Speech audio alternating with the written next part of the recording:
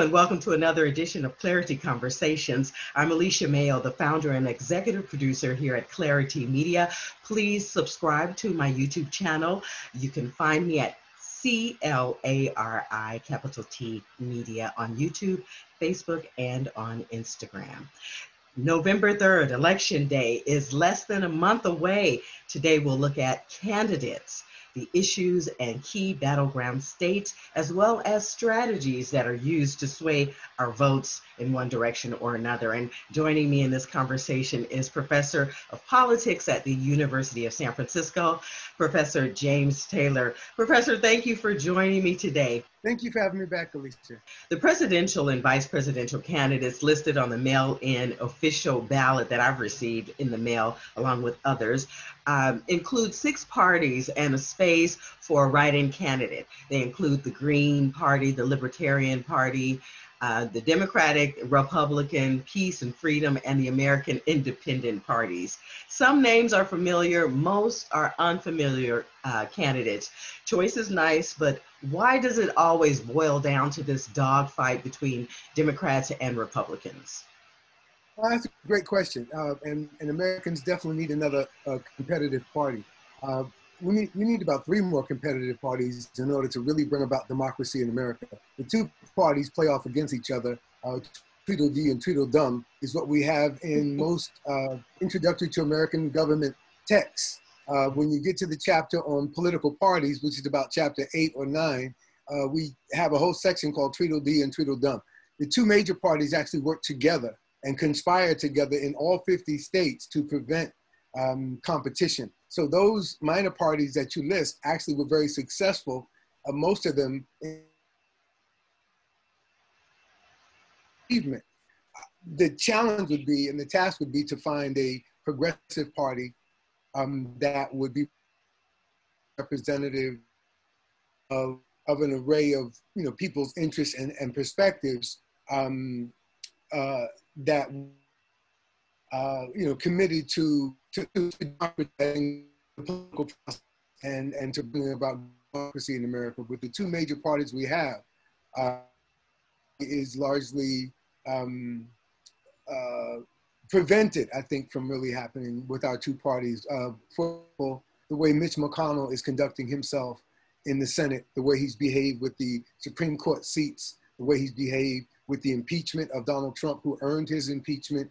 Um, the party system is something that the framers of the US Constitution did not account for.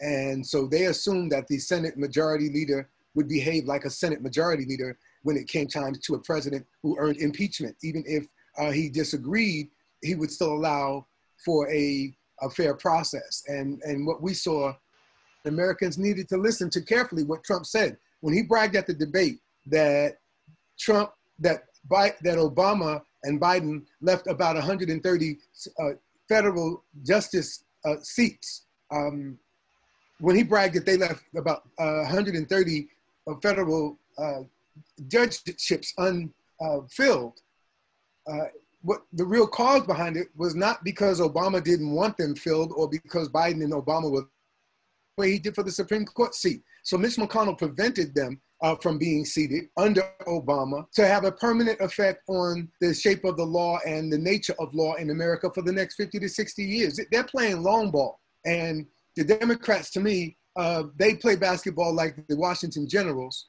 who is a team that is Harlem Globetrotters, because Democrats keep trying to find a way to lose. Uh, you know, they're right now, they're up by double digits and everybody knows they're going to lose. Um, and most of America is pretty confident that Donald Trump probably is going to win even though everything says he's going to lose, because the Democrats are a weak party. They've always been weak. Um, at least they've been weak since, I'd say, since Ronald Reagan made them weak. Since the 80s, the Democrats have gone soft, trying to be safe and centrist, and that makes them weak. Instead of being strong and liberal uh, and progressive like under FDR and LBJ, just own who you are, be progressive. And the Democrats, since, since Bill Clinton and Ronald Reagan uh, in the 80s and 90s, have, have become a party that is indistinguishable from the Republicans in terms of, of, of, of most things, except for the more you know, draconian policy positions that the Republicans hold. But in terms of the, the functions of the two parties, Um, like I said, in most political science scholarship, they're called Tweedledee and Tweedledum. Okay, that gives us some hope. um, okay, so we have Trump and Pence versus Biden and Harris now, red versus blue. We have had the two debates already uh, flies on Pence and Harris, feminine energy described by Trump as monstrous, as he himself interrupted and couldn't follow the game rules with Biden, who at one point shouted at Trump to shut up. Now, if I were to use that same approach to be heard, I'd be considered an angry black woman with a bad attitude, yeah. right? It's not a good look for anybody at this point or at any point, uh, uh let alone a presidential candidate. Yeah. but though, I don't know if you want to comment about that. To me, those aren't the real issues. To me, yeah. the primary issues are domestic issues. What do you have to say about that? Yeah, no, I, I, think we've seen a whole lot of, of, of uh, white men uh, screaming out when they want to whether it's Biden telling the president to shut up and calling him a fool and and and, and you know other things that no, in the normal presidential cycle, Biden's uh, comments would have been fatal. Um, they would have been fatal um, debate mistakes that would ruin uh, his career. You know, no different than Howard Dean scream out "Woo-ha" or Rick Lazio in New York in the Senate race, walking too close to Hillary, intimidating her physically on stage. That would have been that moment.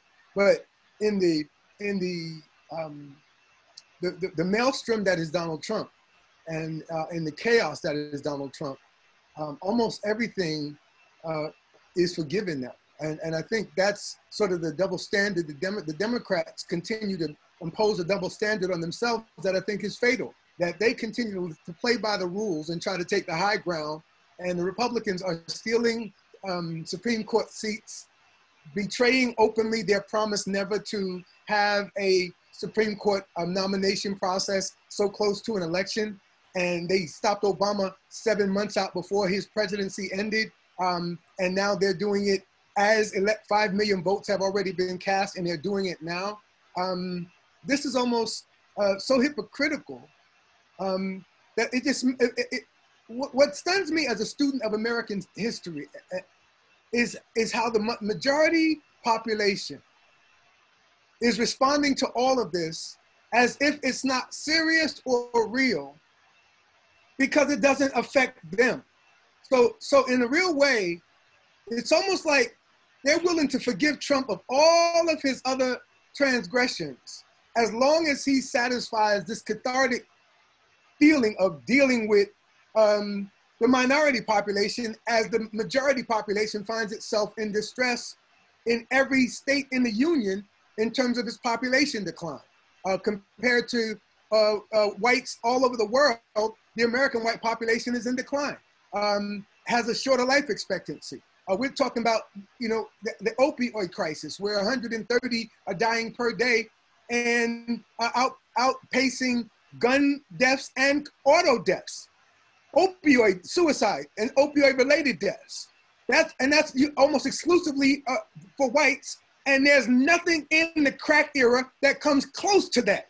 There weren't 130 brothers being shot and killed a day, even in the worst day of the crack era. And yet 130 white people are dying a day because of opioids. And, you know, they're treating it as a medical health um, crisis as they should have treated uh, every other drug problem in, in society. Um, but again, the two party system to me, uh, and, and, the, and the moment in where we are, uh, you know, we're at a, a, to me at a, at a, low point in politics where uh, the majority population uh, really needs to articulate um, through the election that it repudiates all of this. And if it doesn't, then we are in a real um, mess going forward because we have to live in a country where they are saying this is acceptable to them. And to me, this is unacceptable. And so to me, these two things cannot coexist black, the black population, unlike the white population, is actually exploding. The African American population by 2065 is expected to be 55, 65 million. By 2075, they expect the black population to be 75 million people. That's 30, 40 years, that's 50 years from now, right? And at the same time, the white population is in such sharp decline um, And the Asian population is doubling. The Latino population is growing exponentially in every county in America. And so the only population in decline in America is the majority population. And so what we're seeing in terms of a lot of the political, uh, uh, uh, you know, manifestations of it are this sort of, you know, uh, if we can't have it, you can't have it. You know, we'll take it down. We'll bring America down before we let the minorities have it. This kind of sickness is a, a result of a, a, a vast social transformation that is happening that everybody is experiencing and that it creates anxiety for everyone. But these people, because of their default racism, think that they have a special right to make a special claim on this transformative moment affecting everyone, like it's their kingdom falling down. This has never, for five minutes, been a white man's country. Out of chaos comes clarity. Subscribe to ClariT Media on YouTube, follow us on Facebook and on Instagram. I'll have more of this conversation with political scientist Dr. James Taylor of the University of San Francisco. Thank you so much for tuning in.